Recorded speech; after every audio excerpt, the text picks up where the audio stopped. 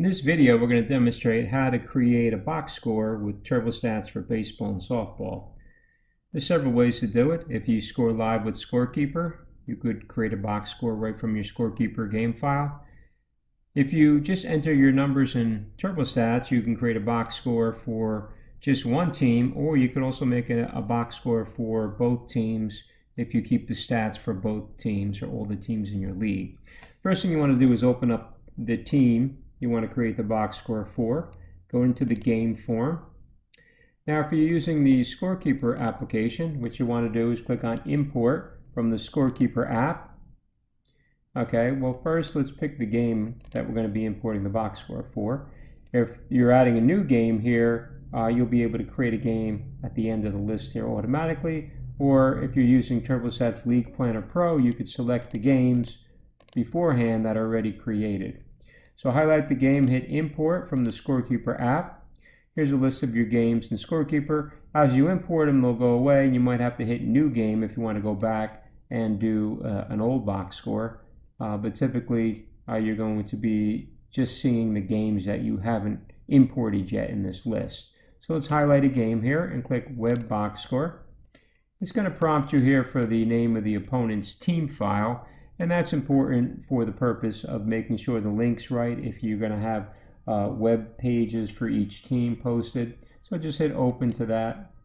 It'll also uh, line up the logos for the teams as well. Then you want to select if you're going to be using player photos, if you've uploaded them to the cloud. Uh, you do that in the team form by hitting add photo. So if you have player photos up there, turn that on. If you have team logos, you could pick whether they're PNGs or JPEGs. You want to have a background, you could set that. And you can set the format of your box score here if you want to have enhanced stats like fielding stats in the box score uh, or other enhanced stats. Um, see, see, we made the box score just batting stats now. And then it's going to prompt you to pick uh, the top players, top performers. If there's any ties, you'll get a pick list of all the players who tied for total bases RBIs and runs. You can select whoever you want out of the list here. Um, and then hit OK. And then you can make a write-up. If you want to use any bold, you put the HTML uh, code here for strong and then slash strong if you want to make one part of it bold. But typically just make your write-up here. And uh, if you're using League Planner Pro, you want to put a box score number. And if you're just doing it for your own league, make sure you increment the box score after each game so you don't overwrite the previous box score. And you can give it a game ID. If you have your own uh, website, you want to create your link here, you can put in the path to your main site here, and that'll show up as a button on the box score. Uh, the teams will have their own links to their team pages if you're using the TurboStats team pages. Okay, and so what you want to do here is just hit post website when you're finished. If you want to add a photo, you could hit add photo and you can replace the photo. Okay, just pick any photo you want. Um, okay. And then if you want to add a score sheet, if you're using Scorekeeper, you could create a score sheet.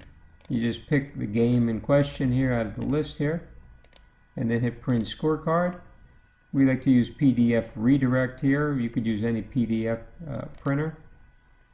Okay, and what you want to do is make sure you save your PDF file in the WinStats folder and make sure that the name of the file matches the name of your box score name. So it'll automatically put it in here. You could just paste it. Hit Shift Insert or Paste, right click and choose Paste and it'll put in the name you have to make this PDF file the box score. See, it's going to be the name of your uh, league name here. This could be the name of your team, whatever you want to call it. And then an underscore game, and then here that. And that's the format you have to make. So you can hit save. That'll make the box score, um, the, the, you know, the um, scorebook page file. And so if you want to post that, you could do that. And then you just hit post website when you're done and it'll post it up to the, the web. There's also another way to do this if you are just entering your stats in TurboStats and you do not use Scorekeeper. If you just kind of come in here, create players and enter their box score stats. What you could do is go to the compile stats menu and we have a new box score button now. So if you choose that here, um, it will load the game into the box score uh, program. If you cared about loading the other team, what you need to do is do this once for this team. And so this is Columbia in versus Tito. So now I got to exit out. I want to do it for both teams. Now I got to open existing team. And I got to choose this uh, Columbia in team. And go to the games. And then highlight this game versus the team that was just in, Tito's. And then hit com compile stats box score. And so that loads this team's data in here. So if you click on Columbia in, they're the visiting team.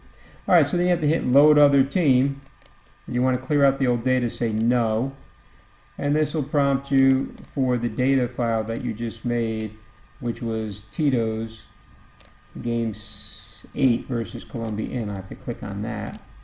And now that loads it in. If I hit box score here, it's going to load the box score, the same prompt here for selecting the players you want to choose for the top performers. And now you see the uh, box scores loaded here for both teams. You could do the same thing. You could type in a recap. It's the same screen. Add a photo. Make sure you set the photos correctly here. If you leave this blank for the home link, it'll use the team name. And then, you know, you just hit the post website. Okay, let me um, create a different name here for a sample here. Uh, let me just delete this. It should put in the name of the team. So let me hit post website and it's going to ask for the name for the team that you're playing against. So let's just pick Tito's and go through the motions here. And it didn't put a team name here, so we're just going to call it Tito's. So you could really put whatever you want there for the name. And then we're going to go to View. And let me make this fit here on the page. This is what it's going to look like for your viewers on the website. Um, if you have, I didn't load a photo in this time, but it would show a photo in here if it had a photo. Here's your recap right up and your player stats. And if you want to go to the team's uh, TurboStats page, you can just click here. If you want to go back to the team site, you can click here as well go back to the team site. If you added the scorebook page, you could use the scorebook page if you're using iScore, another program. You could use the PDF, and it would have a score sheet menu here as well. So you could just hit Tito's and you go back to their team page, and this is your TurboStats uh, team page, what it looks like. And then if you want to go to any of these box scores, you can click over here, and it'll take you back to the box scores. So you can go see them right from the team pages. And that's